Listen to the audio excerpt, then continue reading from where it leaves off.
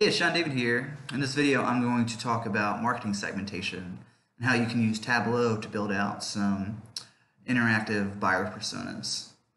In this first page here of three, so we've got the overview tab, the aggregate survey data tab, and then the individual market segment breakdowns. In this overview, it just kind of lays the scene out. So this fictional all-American health food organization selling food. You can see that they have two categories, so health, health food and low cost. Um, the health food is selling pretty high, much higher than the low cost, which is, this is, the low cost segment is what we're going to focus on in this case study. So the marketing team has put together a survey targeting those who buy in the low cost category to start figuring out what are this what's the psychology that's causing these people to buy? So we had our data scientists do some clustering analysis and clustered this market into three main segments. So we have environmental eric typically male between 18 and 35 lives in the city and he really cares about the environment and his carbon footprint. Um, price savvy sarah is female between the age of 30 and 45 typically lives in the rural, low cost areas, and she is very price sensitive. And then value driven Victor, he is an older male who lives in the more affluent suburbs, and he wants to buy the product with the highest price. So that kind of sets the stage of here's what we're looking at. So let's look at the, the high level survey data. So you can see 174 people were surveyed, and here's the breakdown of each of the clusters.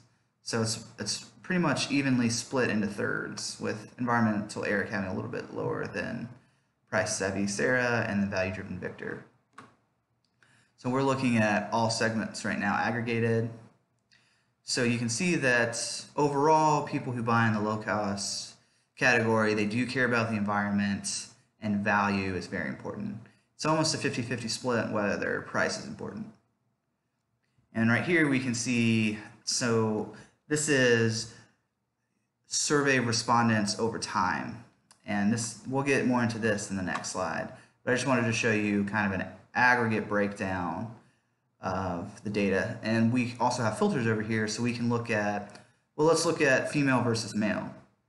So here's the female, as you can, it's kind of intuitive that the price savvy Sarah is going to make up the majority of those respondents who are females with some environmental Eric, very few value-driven victors. And let's look at male.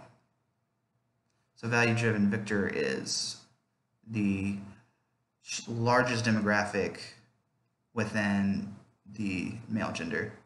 Very few price-savvy Sarahs. So let's look at the difference here.